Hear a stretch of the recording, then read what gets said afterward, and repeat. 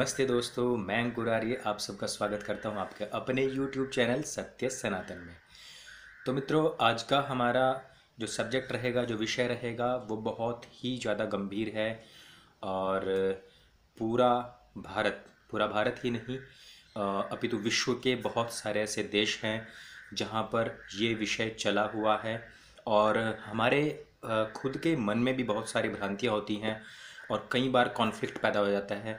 कुछ व्याकरण के जो आचार्य रहे हैं या व्याकरण के अध्येता जो रहे हैं या जिनको थोड़ी बहुत भी हिंदी की नॉलेज होती है तो वहाँ और जो हमारे भक्त लोग होते हैं उनके बीच में भी कई बार इस बात को लेकर कॉन्फ्लिक्ट हो जाता है कि शब्दों का चयन हम किस प्रकार से करें। जैसे कि आ, मेरे पास में भी काफ़ी सारे मैसेज आते हैं जिसमें कि लिखा होता है राधे कृष्णा राधे कृष्णा।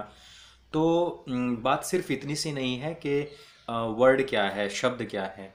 लेकिन बात ये है कि हम जिसके प्रति अपना सम्मान जताना चाह रहे हैं, वो क्या है? शब्दों की ही तो बात है। मंत्रोच्चारण जब हम करते हैं, हवन जब हम करते हैं तो संस्कृत के मंत्रों में ही हम उच्चारण करते हैं। संस्कृत के मंत्रों से ही हम हवन करते हैं। जब स्तुति गान करते हैं, जैसे कि अगर कोई दुर्गा की उपासना ही क्यों ना कर रहा हो तो वो दुर्गा का ही तो नाम लेगा ना। वो किसी अन्य का नाम नहीं लेगा। तो अगर कोई शिव की स्तुति कर रहा है तो वो शिव का ही नाम लेगा। अगर कोई कृष्ण की स्तुति कर रहा है तो कृष्ण का ही नाम लेगा। तो प्रॉब्लम कहाँ आती है? जब हम विदेशियों का थूक चाटने, मैं स्पष्ट शब्द में कहूँ, जब हम विदेशियों का थूक चाटने लग जाते हैं तो प्रॉब्लम आती है। प्रॉब्लम तब आती है जब हम अपनी खुद की संस्कृति को भूलकर दूसरों की भाषा में अपनी बात करनी शुरू कर देते हैं। अब जो मेन विषय है, उस पर आता हूँ। कि जो हम आजकल सुबह सुबह ही मैं देखता हूँ कि गुड मॉर्निंग नीचे लिखा होता है, एक फ़ोटो बना होता है, उसके ऊपर लिखा होता है, राधे कृष्णा। अब उसमें कृष्ण और राधा की फ़ोटो बनी हुई है, नीचे कुछ गुलाब के फूल बने हुए हैं और ऊपर लिखा हुआ है राधे कृष्णा। तो मैं आपको बताना चाहता हूँ कि थोड़ा सा भी अगर आपको व्याकरण का ज्ञान होगा थोड़ा सा भी अगर हिंदी का ज्ञान होगा तो अकारांत अर्थात जिस शब्द के अंत में अ, अर्थात जैसे कि कृष्ण तो कृष्ण का अर्थ होता है यानी कि वो पुल्लिंग के लिए। अगर वो कृष्णा होता है, आकारांत जिसको बोलते हैं तो वो स्त्री सूचक शब्द हो जाता है। तो कृष्णा, राधे कृष्ण, अर्थात राधे जो है, वो एक्चुअली राधा का नाम राधे नहीं हो सकता। राधे नॉट राधा। तो वो भी शब्द भी गलत है और ये जो हम बोल रहे हैं कृष्णा, ये कृष्णा शब्द भी गलत है। तो आज हम इस राधे कृष्णा के विषय में ही थोड़ा सा विस्तार से हम बातचीत करेंगे। तो कृष्णा फिर है कौन? अगर हम ये देखें कि कृष्णा कृष्ण नहीं है तो फिर कृष्णा है कौन? तो एक्चुअली ऐसा विषय आता है कि पौराणिक कथाओं में भी ऐसा बताया जाता है कि जब श्री कृष्ण सुदर्शन चला रहे थे और सुदर्शन से उनकी उंगली कट गई थी, हालाँकि ये सभी बहुत अटपटा सा लगता है तो जब उनकी उंगली कट गई थी तो द्रौपदी दौड़ी दौड़ी आई थी और उन्होंने अपनी चुन्नी फाड़ करके उनकी उंगली के ऊपर एक पट्टी बांधी थी तो उस टाइम तलक कृष्ण द्रौपदी को एज अ सिस्टर नहीं मानते थे, लेकिन वो प्रथम ऐसा चरण था, वो प्रथम ऐसा समय था, जब कृष्ण ने कहा कि मैं तुमको अपनी बहन मानता हूँ, तुम मेरी बहन हो, और आज के बाद तुमको द्रौपदी के साथ साथ कृष्णा के नाम से, अर्थात कृष्ण की बहन के नाम से जाना जाएगा। तो कृष्णा शब्द वहाँ से आया, अर्थात जो कृष्णा है वो शब्द द्रौपदी का नाम है। अब हमारे लोगों में कृष्णा शब्द क्यों इतना ज़्यादा प्रचलित है? उसके ऊपर बात करते हैं। ये शब्द इसलिए प्रचलित है क्योंकि जब इस्कॉन इस्कॉन आप सभी लोग जानते हैं तो इस्कॉन ने श्री कृष्ण भक्ति के ऊपर बहुत ज़्यादा प्रचार प्रसार किया है, उनके बहुत सारे टेंपल बनाए हैं, इस्कॉन के बहुत सारे मंदिर हैं और उसमें विदेशी लोग जुड़े हुए हैं। तो विदेशी लोगों का जो हिंदी प्रोनाउंसिएशन होता है, वो बहुत ही ज़्यादा ख़राब होता है। तो वो कभी भी हिंदी में ढंग से बात नहीं कर पाते हैं। तो वो क्या बोलते हैं? जब हम बोलते हैं कि राधे कृष्ण तो वो बोलते हैं राधे कृष्णा। तो हम शब्दों की माया को नहीं समझ पाते हैं। हमको क्या लगता है कि ये कृष्णा जो बोल रहे हैं ना, वो सही है। राधे कृष्णा नहीं, पहली चीज़ होती है राधे कृष्ण। फिर दूसरा विषय पर आते हैं कि कृष्ण के साथ में राधे क्यों? अगर हम राधा को उसमें रिप्रेजेंट कर रहे हैं तो राधा कृष्ण क्यों? रुक्मिणी कृष्ण क्यों नहीं? विषय यह भी उठता है कि क्या जो सात फेरों में बंधकर आई है, उसका कोई दोष है? क्या आपका समाज इस बात को एक्सेप्ट करता है कि जो उसकी पत्नी है जो उसके स्वधर्म को निभाने वाली है, जो सात फेरों में बंधकर आई है, क्या उसने कोई बड़ा पाप कर दिया है? जिसने पूरा जीवन अपने पति को समर्पित किया? क्या उसने यह करके कोई पाप किया है? क्या कहीं भी, किसी भी मंदिर में कृष्ण के साथ रुक्मिणी जी हैं? क्या किसी दीवार के ऊपर वृंदावन हो, मथुरा हो, कहीं पर भी, कृष्ण के साथ उनकी पत्नी का नाम है? नहीं है। हिंदुओं, थोड़ा सा ध्यान देना। देखो, मैं कोई भी वीडियो लेके आऊँगा, वो बिल्कुल ऑफ़ द ट्रैक होगी।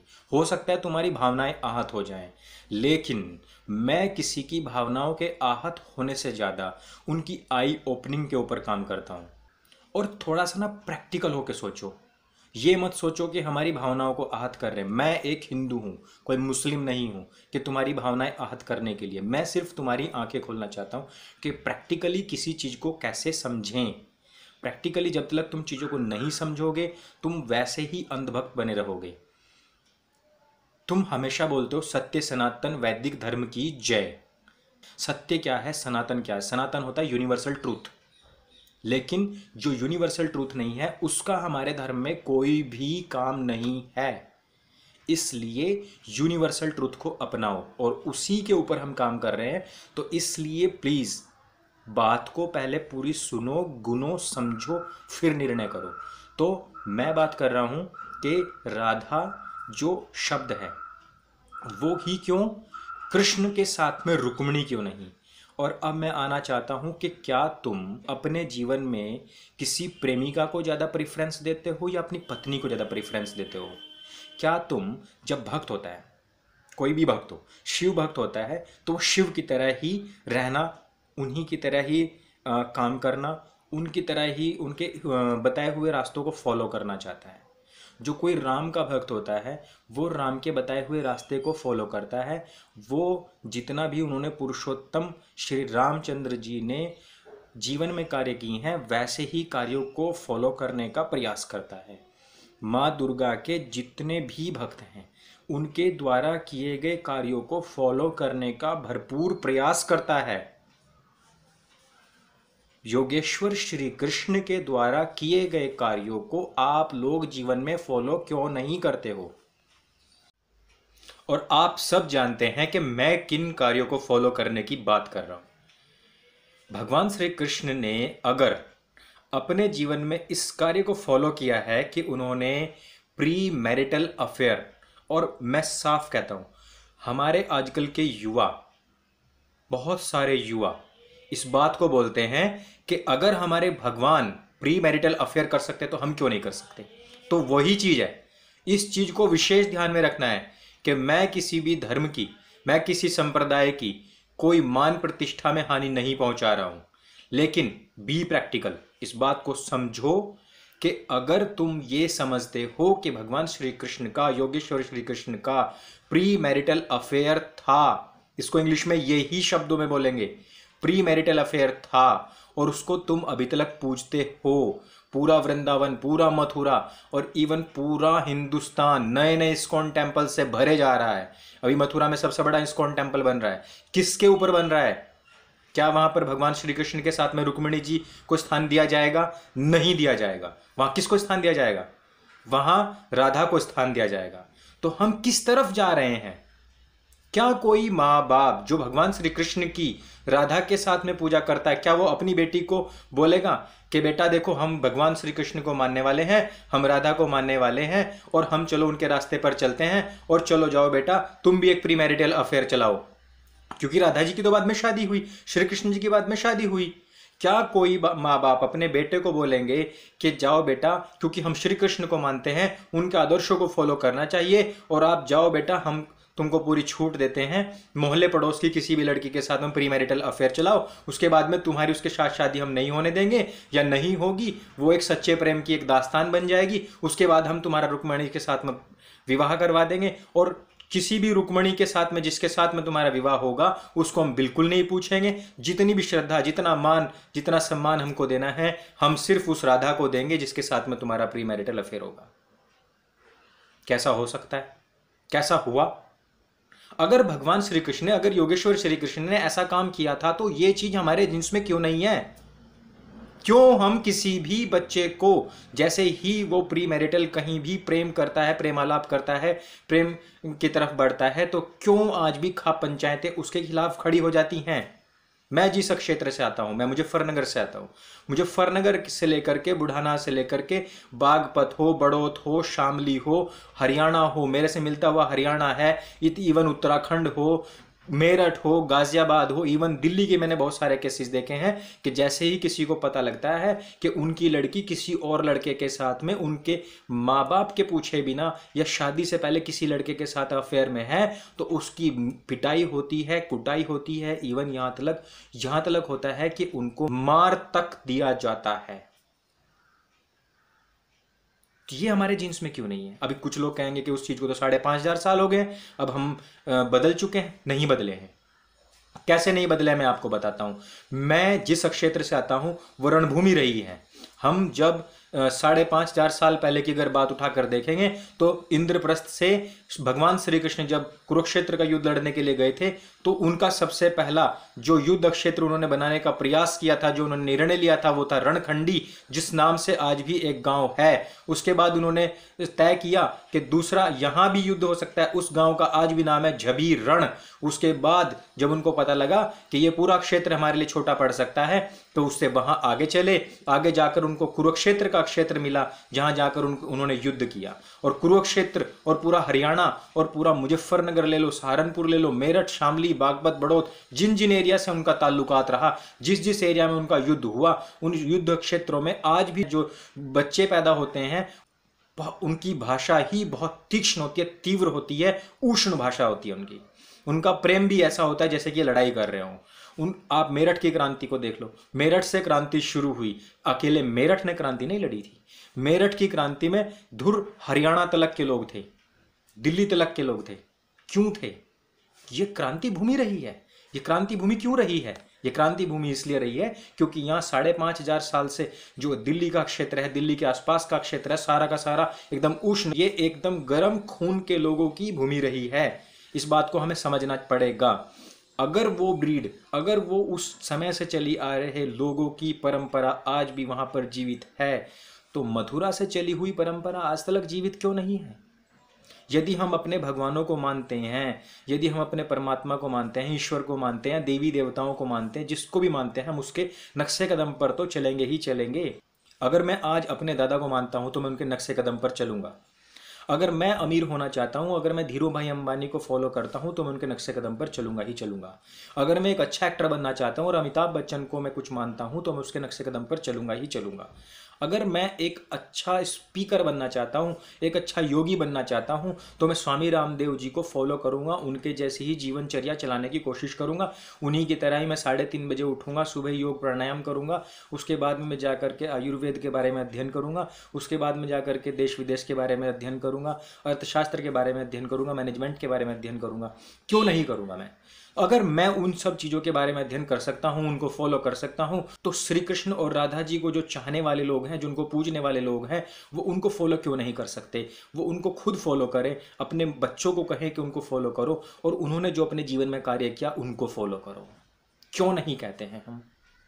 हमने पूरे धर्म को अपने हिसाब से बना रखा है कि जहाँ हमको फ्लेक्सिबिलिटी लगती है, जहाँ हमको अपने लिए अच्छा लगता है, वही धर्म घुसेड़ दो, वही भगवान श्री कृष्ण की बात को घुसेड़ दो। इसी प्रेमालाप के चक्कर में गली नुक्कड़ पर आपकी भगवत कथा शुरू होती है। उसी भागवत कथा के अंदर उनका अश्लील चित्रण किया जाता है। अश्लील चित्र उकेरे जाते हैं आपको, अश्लील भाषण, संभाषण, अश्लील गीत सुनाए जाते हैं। और मैंने पिछली अपनी वीडियो में भी कहा था कि जिस प्रकार से कहा गया है भागवत में यह बात लिखी हुई, आप उठा कर देख लीजिए, लिखा हुआ है कि जब भगवान श्री कृष्ण गोपियों, गोपियाँ नहा रही थी तो उनके कपड़े उठाकर ले, लेकर चले गए। अगर ये भागवत कथा कोई सुनता है तो उसके दिल पर क्या गुजरेगी अगर कोई नया नया धर्म प्रेमी हो तो? या विधर्मी लोग हमारे धर्म के ऊपर कितना आक्षेप करते हैं, वो आप लोगों को शायद नहीं पता है। तो हम क्यों नहीं फॉलो कर रहे हैं? क्या हमारे दिमाग में ये बात क्लिक नहीं करती है कि क्या वास्तव में ऐसा था? क्या वास्तव में राधा थी? और अगर राधा थी तो उसको फॉलो करना चाहिए। और अगर राधा नहीं थी तो उसको पूरी तरीके से नकारना चाहिए और माता रुक्मिणी और भगवान श्री कृष्ण योगेश्वर श्री कृष्ण के आदर्शों का पालन करना चाहिए। मैं आपसे पूछना चाहता हूँ कि यदि अगर भागवत की कथा को हम सामने लेकर के चलेंगे तो आप किस तरीके से बता सकते हैं कि भागवत कथा के अनुसार ही उनकी जीवन शैली चली होगी? भगवान श्री कृष्ण जो चार वेदों के ज्ञाता थे, जो छह दर्शनों के ज्ञाता थे, जो उपनिषदों के ज्ञाता थे, जो खुद में एक सत्य शोधक थे, जो इतने बड़े वैज्ञानिक थे, जो इतने बड़े विचारक थे, जो इतने बड़े तार्किक थे, वो कैसे बिना पढ़े लिखे मैं इसी क्यों कह रहा हूँ कि बिना पढ़े लिखे उसका कारण है और उसका कारण ये है कि भागवत में लिखा है कि जब वो बचपन में थे तो वो डांडिया रास करते थे, वो गाय चराते थे, वो गोवर्धन पर्वत उठाते थे, वो शेषनाग मारते थे, जब वो सारे काम करते थे तो संदीप, संदीपनी मुनि के गुरुकुल में पढ़ने कौन गया था? तो मुझे किसी ने कहा कि वो किसी गुरुकुल में पढ़ने नहीं गए। वो तो क्योंकि भगवान थे, वो तो साक्षात परमेश्वर, परमात्मा थे, वो तो साक्षात विष्णु के अवतार थे तो उनको तो आवश्यकता ही नहीं थी।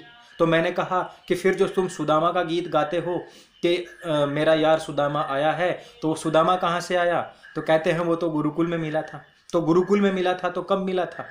तो क्या गुरुकुल में पढ़ने के लिए अपने जीवन के अंतिम क्षणों में गए थे? किन, किस समय गए थे वो पढ़ने के लिए?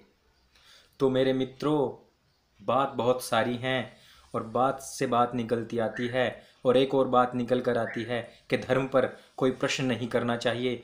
इस विषय के ऊपर हम अगली वीडियो लेकर आएँगे कि किस प्रकार से हमारे पोप, हमारे पंडे, हमारे धूर्त पंडित लोग जिन लोगों ने हमारे धर्म का सर्वनाश कर दिया है, सत्यानाश कर दिया है, उन्होंने किस प्रकार से घुमा फिरा करके गीता का जो संदेश है, वो अपने हिसाब से दिया है, ताकि उनकी दुकानदारी चलती रहे। इसके ऊपर एक नेक्स्ट वीडियो हमारी आएगी। लेकिन मेरी फिर से दोबारा से आप सभी से करबद्ध प्रार्थना है कि हमारा जो सत्य सनातन धर्म है, उसको सनातन अर्थात यूनिवर्सल ट्रुथ की तरह लेकर चलो। ऐसा ना हो कि हम कुछ भी गपोड़ा किसी के सामने छोड़ दें और वो फिर हमारे ऊपर हंसे और हम हँसी के पात्र बन जाएँ। हम हँसी के पात्र नहीं बनते मित्रों, हमारा धर्म हँसी का पात्र बनता है। और जब कोई धर्म की हानि होती है, जब नुकसान होता है तो मनुष्य अपने अस्तित्व से गिर जाता है और अस्तित्वहीन व्यक्ति का जीवन हमेशा निरर्थक होता है। अतएव अपने धर्म की रक्षा के लिए सदा सर्वदा सत्य का ही पालन करो और जो सत्य है, जो सनातन है, जो वैदिक है, उसी धर्म का पालन करो। अतः मित्रों, सभी मेरे साथ बोलें, सत्य सनातन वैदिक धर्म की जय। नमस्ते।